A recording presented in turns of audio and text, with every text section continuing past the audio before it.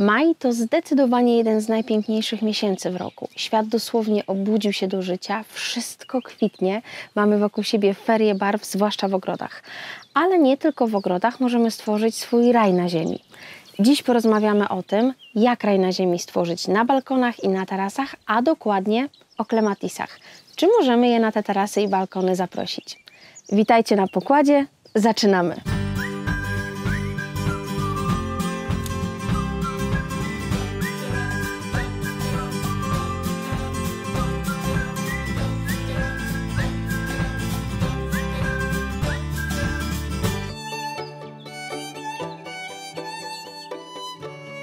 Materiał o klematisach na tarasach obiecałam Wam po odcinku zeszłorocznym, takim ogólnym o powojnikach. Tu w tej chwili widzicie ten odcinek w karcie, przeklikajcie sobie e, po tym naszym materiale. Odcinek okazał się hitem na YouTubie, w tej chwili ma już chyba około pół miliona wyświetleń, co jak się domyślacie niezwykle nas cieszy i co tylko pokazuje, jak bardzo dużo osób szuka informacji o powojnikach, o klematisach. Myślę, że ten dzisiejszy materiał też okaże się dla wielu z Was e, być może inspiracją albo konkretnymi wskazówkami, jak to zrobić, by po pierwsze zaprosić klematisy e, na nasze balkony i tarasy, a po drugie tak je zasadzić i tak o nie dbać, żeby później cieszyły nasze oko ferią barw i przepięknym kwitnieniem. Zazwyczaj na naszych balkonach i tarasach możemy spotkać takie roślinki jak pelargonie, petunie, surfinie, begonie, niecierpki, e, te wszystkie znane nam już. One zdobią nasze tarasy od wielu lat, wiemy wszyscy e, jak o nie prawidłowo dbać. Dziś chciałabym Was jeszcze namówić do tego, żeby do tego towarzystwa włączyć właśnie powojniki, żeby tworzyć kompozycje z użyciem powojników, żeby zdobiły te nasze przestrzenie. Klematisy, czyli nasze powojniki, to są roślinki pnące, charakteryzujące się bujnym, cudownym kwitnieniem. Jest ich oczywiście cała masa najróżniejszych odmian. Wszystkie jednak są przepiękne i to dlatego warto je zaprosić na balkony, bo po jakąkolwiek roślinkę byście nie sięgnęli, gwarantuję Wam, że będzie Was zachwycać. W tej chwili z boku gdzieś wjechała Wam tablica, gdzie wymieniłam te wszystkie klematisy, które po pierwsze na bank sprawdzą Wam się w uprawach balkonowych, a po drugie przepięknie e, kwitną, więc tutaj już macie ściągę dla siebie. Żeby jednak ta nasza przygoda powojnikowa się udała, musimy prawidłowo wykonać pewne ruchy, żeby powojniki dobrze czuły się na naszych balkonach. I zaczniemy tę naszą wspólną powojnikową, balkonową przygodę od wyboru samej roślinki. Wiecie o tym, bo mówiłam już nieraz nie dwa, że jestem zwolennikiem kupowania roślin od polskich producentów, takie, które mają nam służyć długie lata. I dokładnie tak samo jest w przypadku powojników. Wybierając roślinę, raczej kierujmy się właśnie szkółką naszą polską. E, po pierwsze dlatego, że takie roślinki poradzą sobie w naszych warunkach.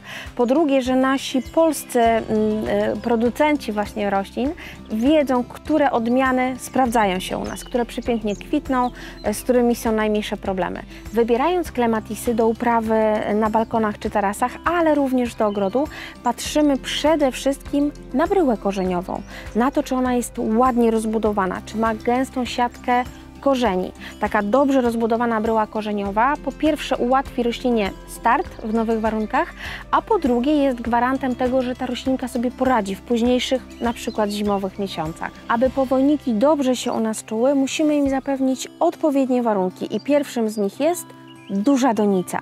System korzeniowy powojników potrzebuje dość sporo miejsca, więc powinniśmy mu zapewnić pojemnik o minimum 20-30 litrów pojemności. Tak naprawdę ja stosuję dużo większe donice, bo sadzę po kilka roślin w jednej donicy, od dwóch do trzech. Pamiętajcie też, że sadzimy te roślinki głębiej niż rośliny tarasowe.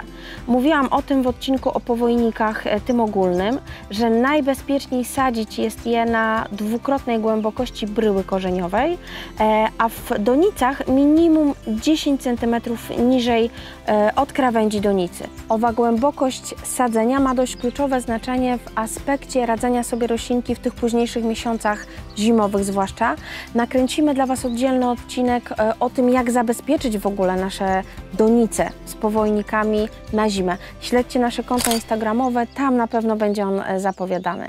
Drugim ważnym aspektem po wielkości donicy po sadzeniu jest aspekt, myślę, że kluczowy, aspekt podłoża, bo nawet największa donica nie zagwarantuje nam sukcesu, jeżeli posadzimy klematisy w słabej jakości podłożu. A w przypadku klematisów musimy sięgnąć po podłoże najlepsze z możliwych. Z tego względu, że to są rośliny, które bujnie rosną, bujnie kwitną i muszą rosnąć w ziemi, która zagwarantuje im fajny rozrost i przede wszystkim korzystanie z wartości odżywczych, tak żeby to kwitnienie później rzeczywiście zachwycało. Wiecie już, że ja e, korzystam z podłoża Vocas Smart, jesteśmy ich ambasadorem, jestem zachwycona efektami, e, które uzyskuję za pomocą właśnie tego podłoża. W zeszłym roku nasze rośliny tarasowe kwitły bardzo bujnie, od wczesnego lata aż do bardzo, bardzo późnej e, jesieni i właściwie nic z nimi nie musiałam robić. Z tego względu, że podłoże do roślin balkonowych to w mojej ocenie czyste złoto po prostu. Wzbogacone już o nawóz wieloskładnikowy, długo działający, który daje naszym roślinkom niesamowite warunki do rozkrzewiania, no i do kwitnięcia, o które nam tak chodzi. Sadzimy więc w Vocas Smart nasze klematisy, i gotowe. Może nie całkiem, bo oczywiście jeszcze będziemy musieli później pamiętać o nawadnianiu i to takim bardzo systematycznym. Klematisy bowiem nie znoszą zarówno przesuszenia, bryły korzeniowej, jak i przelania. Mówiłam w tym odcinku ogólnym o klematisach, że ich nóżki, w cudzysłowie, czyli właśnie bryła korzeniowa, nie lubią, kiedy jest za gorąco i kiedy jest za mokro i dlatego nawadniamy powojniki systematycznie, tak, żeby ich nie przelać. W przypadku donic, e, kiedy będziemy je sadzić, na dno zawsze dajemy dość grubą warstwę drenażu. W moim przypadku to jest keramzyt, najchętniej po niego sięgam. Dopiero kiedy mamy wysypaną już warstwę drenażu, keramzytu, możemy sadzić nasze roślinki docelowe, czyli powojniki oraz te rośliny balkonowe kwitnące, które będą nam przykrywały powojnikom nóżki, czyli bryłę korzeniową. E, w naszym domu, właściwie bardziej na naszym tarasie, od lat sprawdza się zestawienie powojniki plus surfinie, petunie, czyli te roślinki takie zwisające, kwitnące równie obficie jak powojniki. E, sadzimy je w podłożu do lawendy. Powojniki sadzimy w podłożu do lawendy i jeżeli tą roślinką kwitnącą jest lawenda, no to nie ma problemu, po prostu wsypujemy do donicy podłoże do lawendy i sadzimy e, sobie nasze rośliny. W momencie, kiedy chcemy połączyć powojniki z roślinami balkonowymi, kwitnącymi innymi niż lawenda, to swobodnie możemy sobie korzystać z dwóch rodzajów e, podłoża, czyli bryłę korzeniową powojnika sadzimy sobie w podłożu do lawendy, tak jak widzicie w tej chwili. Ja sobie nawet taką górkę trochę robię, żeby właśnie w dołek przed powojnikami wsadzić moją roślinę e, balkonową. I tą roślinę sadzę już w podłożu do roślin balkonowych. Oba rodzaje podłoża są świetnej jakości, oba są wzbogacone wieloskładnikowym nawozem, który gwarantuje nam, że przez kilka miesięcy nasze roślinki będą sobie świetnie radzić, będą się rozrastały, będą bujnie kwitły. Ja jeszcze mam taki nawyk, że wtedy, kiedy klematisy kwitną tak bardzo, bardzo obficie, wspomagam je nawozem już e, płynnym, rozrzedzanym wodą. Ostatnią kwestią, którą chciałabym omówić e, w odniesieniu do powojników uprawianych na balkonie, będzie kwestia podpór. E, jak wspomniałam na początku, powojniki to rośliny pnące i o ile w ogrodzie nie ma problemu, bo nawet jeżeli im czegoś nie postawimy, to one sobie poradzą, bo będą się albo płożyć, albo będą się pięły na roślinkach większych, które są obok, to w przypadku balkonu czy tarasu jednak chyba nie fajnie, żeby one sobie rosły swobodnie i zajęły nam na przykład pół przestrzeni. Warto im jednak zapewnić jakąś podporę. Ja bardzo chętnie sięgam po obeliski, które tutaj widzicie. I od razu będę zachęcała Was, żeby kupić, jak to w Greencanu, raz a dobrze, czyli by sięgnąć po taki produkt, który jest świetnej jakości, czyli na przykład wykonany z dobrej jakości stali, zabezpieczony odpowiednio, antykorozyjny, taki po prostu, który posłuży Wam długie, długie lata i będą służyć naszym roślinom niezależnie od tego, czy to są klematisy późno, czy wcześnie kwitnące, bo musicie wiedzieć, że takie właśnie, no tak najprostszym sposobem dzielimy na klematisy, które kwitną wcześnie i na klematisy, które kwitną późno. Te późno kwitnące to są roślinki, które ścinamy na wiosnę, mniej więcej w marcu. Ucinamy je bardzo krótko, one puszczają nowe pędy i na tych nowych pędach kwitną i nie ukrywam, że ja najchętniej po te właśnie rośliny sięgam, jeśli chodzi o uprawę donicową.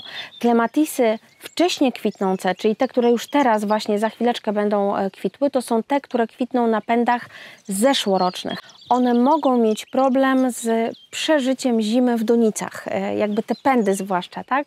Dlatego raczej rekomenduję roślinki, które kwitną późno, są roślinkami późno kwitnącymi. Taką moją ukochaną rośliną, ukochanym powodnikiem jest błękitny anioł.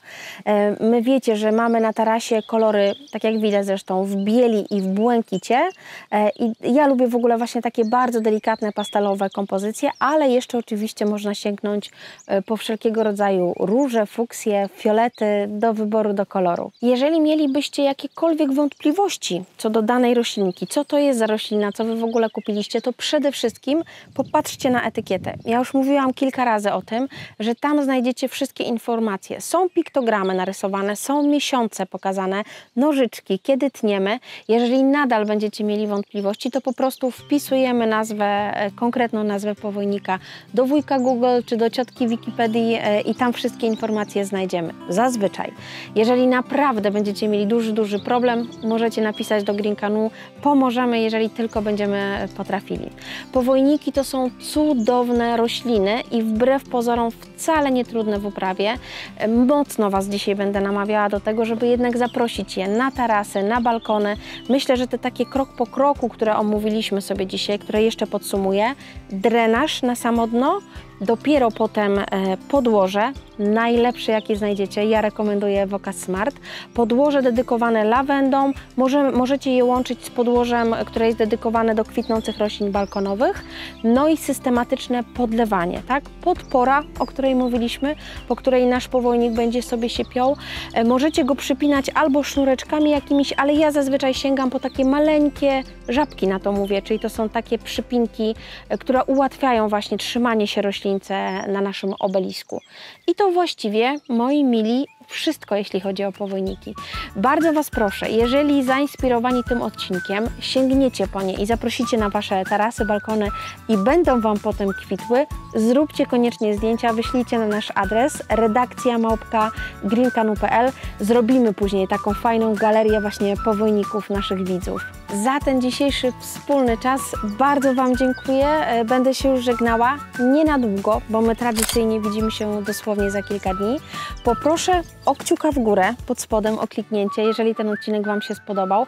Być może wspólnie sprawimy, że ten o powojnikach będzie równie popularny e, jak ten sprzed roku. E, również poproszę o subskrypcję, jeżeli nie jesteście jeszcze z nami. Kliknijcie subskrypcję, dzwoneczek obok, będziemy wtedy w stałym kontakcie ze sobą.